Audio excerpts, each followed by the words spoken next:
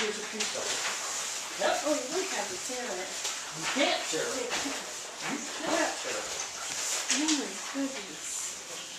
So it's very durable. Yeah. You can't burn it. It doesn't catch fire. It just kind of crinkles. So it's very durable. It's a perfect art material. And uh, Because it feels like book. it does.